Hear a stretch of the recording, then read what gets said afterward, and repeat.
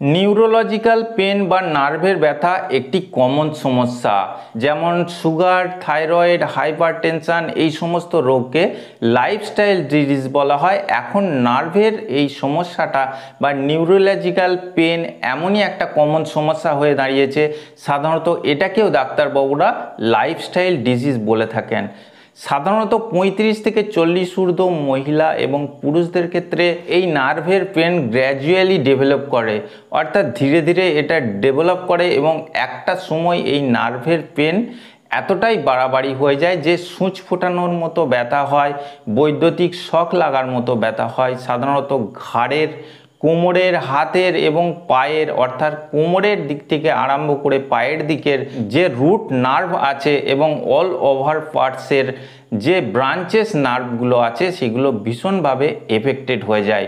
এবং রুগী বা পেশেন্টের ক্ষেত্রে কিছু দুর্লক্ষণ প্রকাশ পায়, যেমন হাঁটতে চলতে গেলে প্রচুর ক্লান্তিবোধ বা উইকনেস বসে ওঠার সময় সমস্যা, কাজকর্মের সমস্যা, সমস্ত জায়গায় শরীরে কষ্ট হয়, এমনকি এই নিউরোলজিক্যাল পেন বা নার্ভের ব্যথা, একটা সময় এমন একটা পর্যায়ে যায় নার্ভগুলো এতটাই অকেজো হয়ে পড়ে যে সেই জায়গায় ইডিমা পর্যন্ত হতে দেখা যায়, ফুলে যেতে দেখা যায়, জল জমতে দেখা যায়। শারীরিক নানা রকম কষ্ট আরম্ভ হয়ে যায়, যেগুলো একটা সময় রুগীকে কিন্তু বিছানায় ফেলে দিতে বাধ্য করে। তো আজকে আপনাদের এমন দুটি ট্যাবলেটের ব্যাপারে বলব যেগুলো সঠিক পদ্ধতিতে সেবন করলে বা আজকে যে চিকিৎসা পদ্ধতি সম্পর্কে বলছি সেটা যদি আপনারা পুরোপুরি ফলো করতে পারেন, আপনাদের যে কোনো প্রকারের নার্ভের ব্যথা হান্ড্রেড পারসেন্ট সেরে যাওয়ার সম্ভাবনা আছে। যদি এই চিকিৎসা পদ্ধতিকে পুরোপুরি ফলো করা যেতে পারে।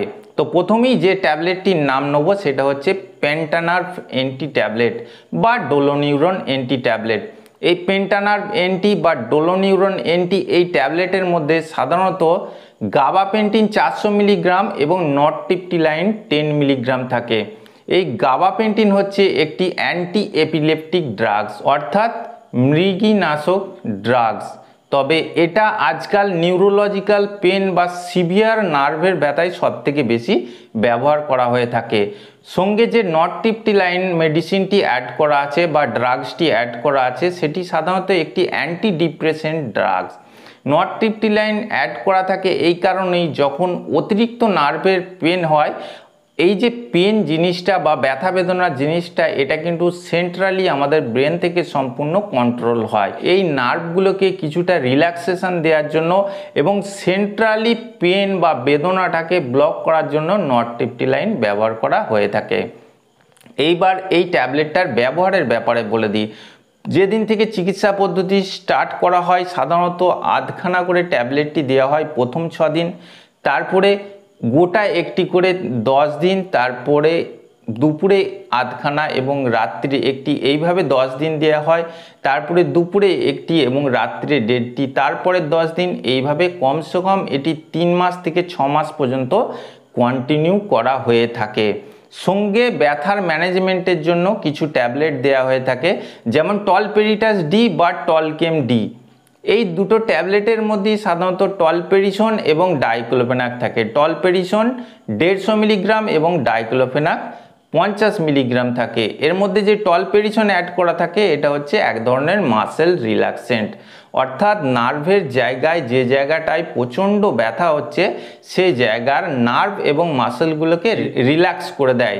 সঙ্গে যে ডাইক্লোফেনাক অ্যাড করা থাকে, এটা হচ্ছে এক প্রকার নেস্ট অর্থাৎ non steroidal anti inflammatory drugs এটা ব্যথা বেদনা নাশক এই যে টলপেরিটাস ডি বা টলকেম ডি ট্যাবলেটের ব্যাপারে বললাম, এটা সাধারণত একটি করে দুইবার খাবার পর প্রথম পাঁচ দিন দেওয়া হয়।